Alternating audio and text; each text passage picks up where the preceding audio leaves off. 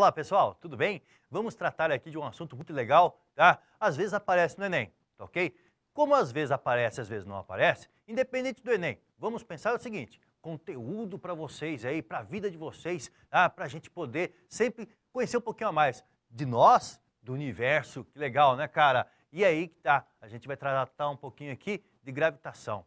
Meu, e é um assunto que sempre atraiu muito a galera. Por quê? É, desde o passado, desde os nossos antepassados, a ideia de entender o que acontece sobre a gente. É, quando você olhava para o céu e falava assim, cara, o que, são as estrelas? É, ora, algumas conjecturas surgiram, como do tipo dizer, ora, os deuses jogam um manto escuro para que o ser humano tenha noite. Como esse manto tem furinhos, então esses furinhos são o que nós vamos chamar de estrelas. Ah, não cola hoje essa ideia, né, galera? Não cola essa ideia. Ah, as estrelas estão muito longe? Estão muito longe da gente, não é verdade? Você fala assim, ah, tem a, a, a, a Terra, eh, tem a nuvem, depois a estrela. Ah, pode ter estrela antes da nuvem? Não existe, né, galera? As estrelas estão muito além do nosso sistema solar. A única estrela que está no nosso sistema solar, vocês conhecem, chama-se Sol. Beleza? Ora, que legal você vai ter o seguinte comigo, aqui ó, coloquei uma linhazinha do tempo com vocês. Ora, para quê? Para a gente entender da onde que vem todo esse percurso histórico de entendimento, né? partindo lá da filosofia. Quando você fala o seguinte, Ptolomeu, cara, Ptolomeu, primeiro carinha ali, ó, de 90 a 168 depois de Cristo, ou seja, cara, a gente está falando de muito tempo atrás. Ptolomeu é, vem trabalhando a ideia de quê? Fala assim, ora, poxa, eu olho para o céu e vejo que a lua passa. Eu olho para o céu e vejo a estrela passar. Eu, vejo, eu olho para o céu e a, o sol passa. Eu vejo que tudo gira em torno da Terra. Por quê? Porque eu, no dia seguinte acontece tudo de novo. Então a Terra deve estar parada no centro do universo e a, o, todo o universo girando em torno da gente. Cara, ele está errado? Não. O que acontece é que existe sim uma falha nesse raciocínio, que é a questão do que, ora, ele fez a análise apenas pelo referencial dele. E no referencial dele ele está certo. Tá? Eu estou parado, eu, como referencial, vejo tudo girar em torno de mim. Legal, tudo bem. Tá? É uma forma de analisar o universo. Não é a única, tá? não é a mais perfeita, mas é uma forma de você avaliar o universo. Ó, e essa ideia foi por tanto tempo válida, é, que a igreja gostou da ideia, absorveu essa ideia, transformou isso num dogma, é, que quando surgiram outras hipóteses, trazidas por quem? Trazidas ali por Copérnico, olha só, Nicolau Copérnico, de 1473 a 1543, por Jordano Bruno, defendido por Jordano Bruno, segundo lá, 1548 a 1600. Aliás, 1600 por quê? Porque teve a vida interrompida, foi é, posto na fogueira, virou churrasquinho, coitado. Por quê? Por defender uma ideia que Copérnico, ele e Galileu Galilei, aí ó, de 1564 a 1642, defendiam a ideia do heliocentrismo, o Sol no centro do universo. Cara, poxa, para a igreja, isso foi um chute lá. Por quê? Cara, você está falando que, que a Terra sai do centro do universo, a Terra, que tem o Papa, o representante de Deus na Terra, você vai tirar a Terra do centro, do personagem principal para coadjuvante. Então a Terra agora gira em torno do Sol. Nossa, velho, pô, deu uma treta, certo? Uma treta. Quer dizer, Jordano Bruno, oi, falaram para ele o que, mano, você vai continuar defendendo essa ideia? Vou. É, então você vai virar churrasco, tá? Colocar ele na fogueira. Ora, Galileu, chegaram para ele e falaram, tu vai defender essa ideia? Se você defender essa ideia, você vai morrer. Falei, não, mano, calma, calma, tá? Diz a lenda que ele subiu num púlpito, né? E no palanque lá, falou, desmentiu suas ideias, tá? Mas continuou fervorosamente trabalhando a mecânica celeste ali, o desenvolvimento do movimento dos astros, tá? Mas em prisão domiciliar porque né, não morreu, mas continuou podendo trabalhar e desenvolver sua ciência.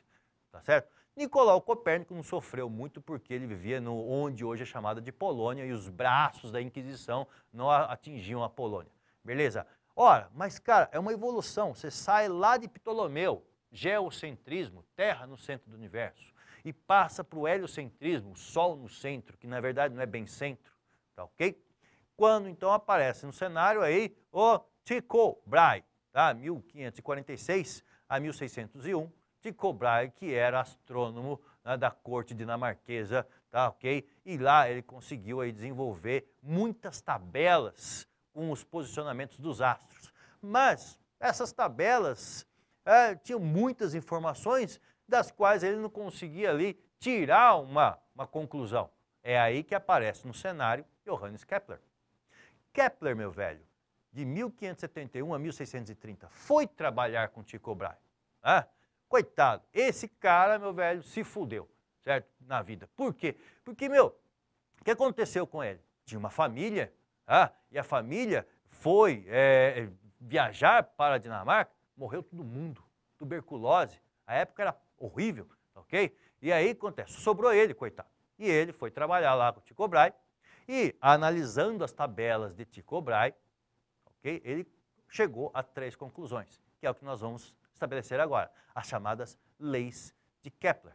Tá? Essas leis, moçada, são as bases da mecânica celeste, as bases do movimento dos astros no céu, tá ok? Ora, primeira lei, bem simples, só que óbvio.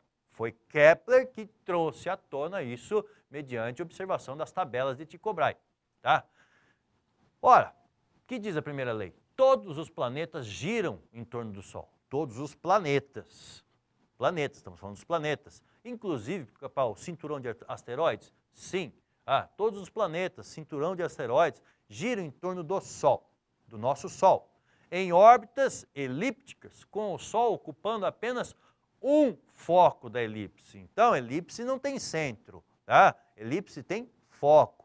Ah, mas tem dois focos e o outro foco? Não tem nada no outro foco. Um foco está o Sol, então está vendo que o Sol está deslocado do centro da elipse. Aonde está o Sol? O Sol está colocado em um foco. Aí no outro foco não tem nada. E o planeta? Lá, coloquei a planetinha, a Terra. A Terra girando numa for, num, num formato de elipse em torno do Sol.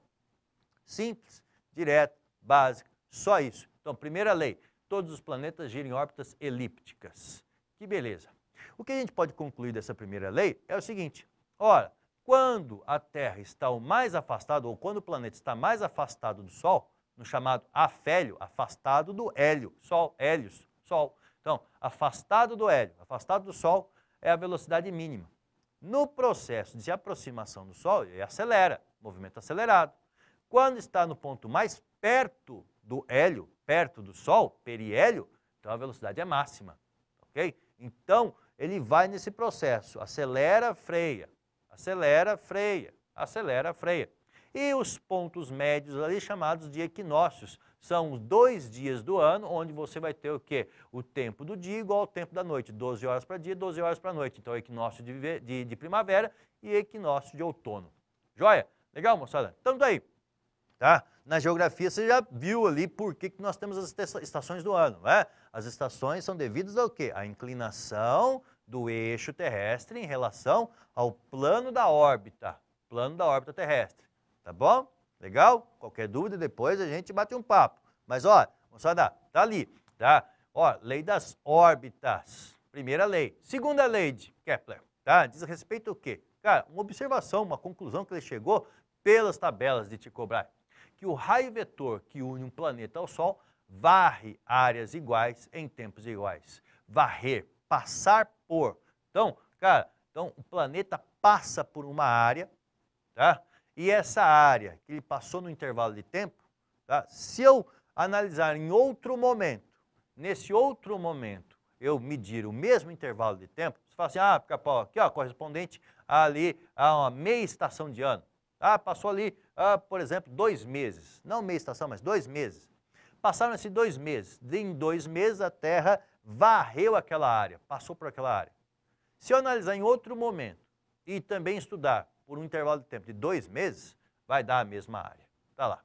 Então, em tempos iguais, eu vou ter áreas iguais. Belezinha? Em tempos iguais, áreas iguais. Se você quiser aproximar isso para um triângulo para poder fazer uma correlação, você pode falar o quê? Poxa, cara, por que, que teriam áreas iguais? Ou, cara, esse primeiro triângulo aqui, ele é mais alto, maior altura, só que tem menor base. O outro triângulo tem menor altura, mas tem maior base. Ah, então um compensa o outro. Ah, então áreas iguais em tempos iguais. Fechou? Beleza? Só isso. Segunda lei. Tá? Agora, terceira lei. Ah, e o auge aí com a terceira lei, porque é muito aplicado isso em vestibular, diz o quê? A razão entre o período de translação ao quadrado. O que é o período de translação? O tempo que um corpo leva para girar, para dar uma volta em torno do outro corpo. A Terra tem um período de translação de 365 dias, ou um ano. Você pode trabalhar um ano ou 365 dias. Às vezes, para as contas, o ano é mais fácil, então um ano, tá certo? Então, um ao quadrado, período de translação ao quadrado, tempo que o planeta leva para girar em torno do Sol. Razão entre o período de translação ao quadrado e o raio médio orbital ao cubo. O que é o raio médio orbital? Raio médio orbital, moçada, você está falando de uma elipse. O raio médio orbital corresponde ao seu semi-eixo maior, tá? Então, se você pegar o comprimento lá maior da elipse, né, o eixo maior da elipse, metade do eixo maior da elipse corresponde ao é, raio médio orbital. Então, a razão entre o raio médio orbital, né, desculpa, entre o período de translação ao quadrado e o raio médio orbital é uma constante. Só que é uma constante válida para quem? Para todos os corpos que giram em torno de um centro comum, de um foco comum. Então, no caso, Mercúrio, Vênus, Terra, Marte, Júpiter, Saturno, Urano, Netuno, Plutão, tá? todos esses planetas giram em torno de quem? Giram em torno do Sol. Então, para todos esses planetas, tá? T ao quadrado dividido por R ao cubo é uma constante.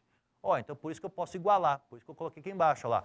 T ao quadrado sobre R ao cubo de Mercúrio é igual a t ao quadrado sobre r ao cubo de Vênus, que é igual a t ao quadrado sobre r ao cubo da Terra, que é igual a t ao quadrado sobre r ao cubo de Marte, que é igual a t ao quadrado sobre r ao cubo de Júpiter, que é igual a t ao quadrado sobre r ao cubo de Saturno, de Urano, de Plutão, beleza? De Netuno, Plutão, beleza? Então, cara, por quê? Porque todos esses astros giram em torno do mesmo centro. Agora, cuidado, t ao quadrado sobre r ao cubo da Terra não vai ser igual a T ao quadrado sobre R ao cubo da Lua da Terra. Por quê? Ora, a Terra gira, a translação da Lua é em torno da Terra, beleza? Não em torno do Sol. O sistema gira em torno do Sol, mas a T ao quadrado sobre R ao cubo da Lua, eu poderia igualar a quem? A T ao quadrado sobre R ao cubo, meu, porque eu translado em torno da Terra, do centro da Terra. Entenderam? Centro comum. Então lá, T ao quadrado sobre R ao cubo é uma constante válida para todos os corpos que orbitam em torno do mesmo centro ou foco. Beleza? E aí, moçada, nós temos as três leis de Kepler que vão ajudar a Newton a estabelecer a gravitação universal. Nos vemos na próxima aula para a gente falar disso aí. Beleza? Até já!